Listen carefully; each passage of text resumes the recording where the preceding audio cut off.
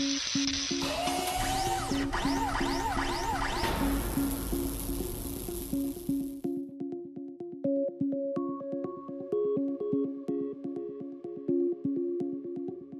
RapidLine is a uh, employee-owned company. We do contract manufacturing for office furniture primarily because that's kind of where we're located. But we also have a variety of other OEMs and such. We do some automotive and hospital and educational products too.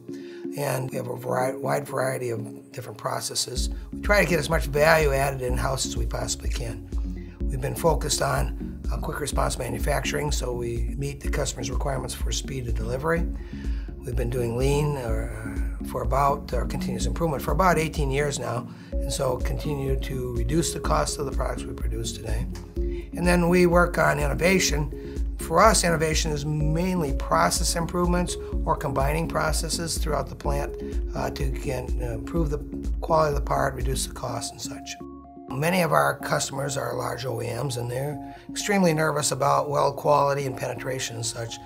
The arc welding robots really uh, do help some with regard to consistency of cost and process, but more importantly, uh, predictable predictability of the welds.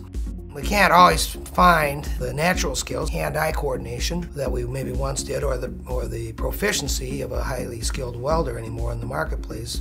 And so the robot gives us that consistency of welds that we uh, need to have for our end customer. So we uh, uh, have really pretty much switched almost all our MIG welding over to uh, robotic welding. And in fact, uh, we're soon embarking on robotic TIG welding to take that to the next level too. You know, the world's gone to a, I call it internet purchase model. I, I want to see what I can get right from my desk or my home. I'll order it, and really, ideally, I'd like to have it tomorrow. And, and so that uh, purchasing model is kind of also driving the, the industrial side. Uh, so our average lot size continues to go down, and the uh, the lead times have gone down dramatically. We got uh, one customer that's a four-hour turn. That forces you to have lots of cross training, lots of flexibility with your process forces us to have lots of people that can step in and program a robot. Uh, and then we do, um, we'll do um, somewhere around uh, 800 jobs a week. So people have to have multiple skills and they have to be able to step in wherever we need them.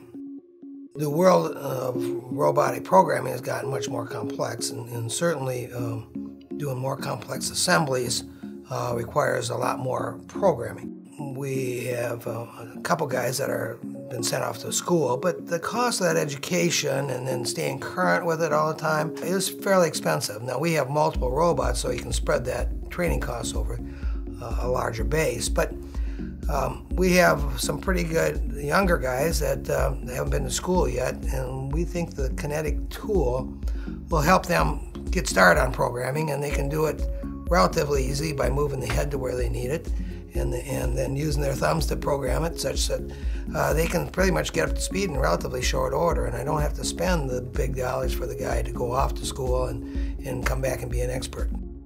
There's, there's certainly some learning curve, there's no question about it, and you know, it's, uh, it's easier to just say, hey Joe, go over and weld it, but um, as I say, the consistency and the quality of the welds uh, is a big improvement.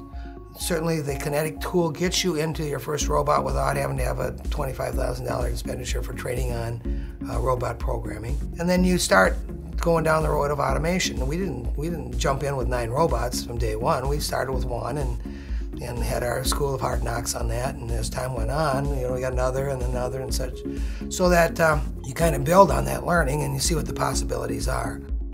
We try to buy everything with a one-year ROI, so um, we're pretty stringent about how we uh, make capital purchases. But uh, I look at the robots a little differently in that uh, we get this dependable quality. Um, you can't have a chair with the base break in the field. I mean, that's just not acceptable.